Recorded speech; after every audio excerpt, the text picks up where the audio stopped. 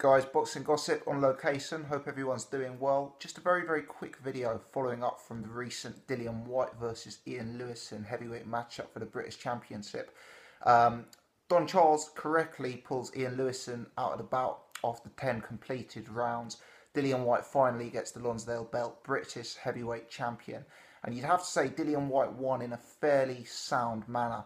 I had Ian Lewison taking the first round. Lewison came out very strong, very aggressive.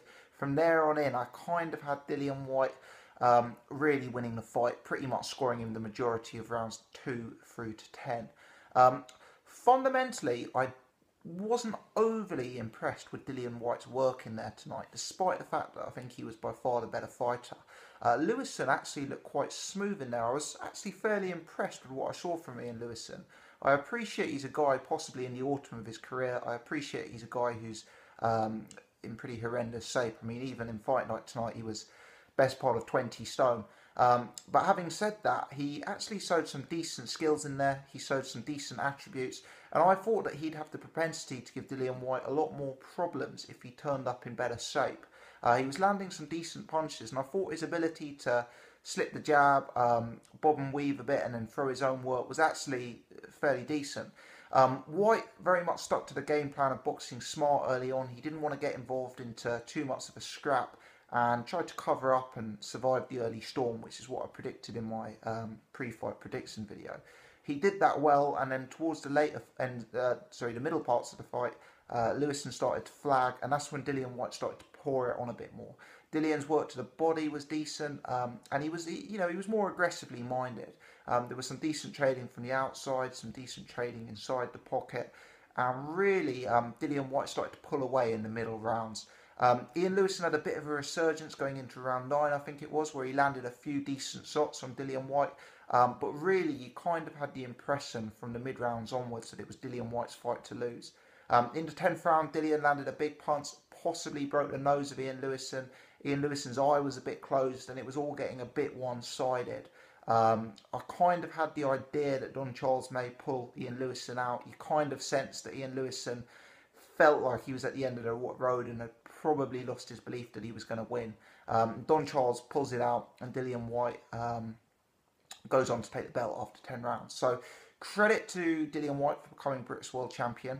Got to say, British World Champion, British Heavyweight Champion even. I've got to say, um, in his recent fights, Dillian Whyte's done well against Dave Allen. He's done well against Ian Lewison. He hasn't exactly looked a class above. He's been beating these guys, but he's been beating them um, fully stretched as far as I'm concerned. And you kind of got the impression that on both occasions, Dave Allen and Ian Lewison could have actually given him quite a few problems if they turned up with proper training camps and if they turned up having had uh, a few more weeks' notice. So it's kind of interesting. He's probably learning a lot from these fights. He's gaining experience. Um, previously, Whyte's someone who hadn't really gone rounds in his career, and he's getting that under his belt now, which is fantastic. Um, I guess the the question is, as he continues to step up in class, are there guys out there who are going to give him more problems? Guys who can establish their own jabs, guys who are a bit more mobile, guys who turn up, uh, you know, like fully conditioned athletes. And I guess that's the the interesting question because um, certainly the power that was synonymous with Dillian Whyte throughout the early stages of his career, it seemed a little bit lacking as he stepped up to the Dave Allens and Ian Lewisons. I mean, granted he won by stoppage tonight, but there weren't too many of us out there who thought Lewison would go 10 rounds. Um, so it'll be interesting. It'll be interesting to see where they take him next. Uh, Derek Chisora, I guess, is another gradual step up and seems to be the logical choice given the, the history between the two men.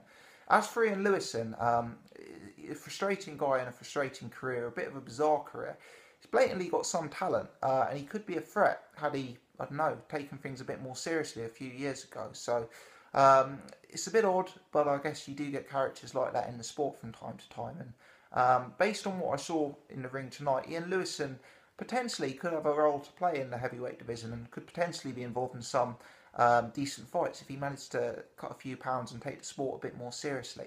But let's see where Dillian Whyte goes on from here. Um, he's worked on his boxing, he's improved his boxing, he's improved his conditioning, which was the main concern for me. And he does a lot of things in there well. Um, he's still a little bit green technically in terms of the way he constructs his punches. And it will just be interesting as he continues to step up in level. Maybe a Derek Chisora is a natural fight. You'd make Whyte a strong favourite over Chisora, but Chisora is maybe one level above a Lewison and a Dave Allen at the minute. So that's a logical fight. I think beyond Derek Chisora, if he starts coming up against slip, uh, sorry, slick, slippery boxers, that's the type that could potentially cause him a bit more trouble. But you know, let's see. Um, British heavyweight champion, and uh, fair play to him. Guys, uh, leave your comments in the section below. Let me know your thoughts on this fight. How high do you see Dillian Whyte's potential upside? Have you got interest in seeing Ian Lewison again? Uh, if you're new to the channel, please do subscribe. And if you've enjoyed this, hit the thumbs up button. Appreciate it.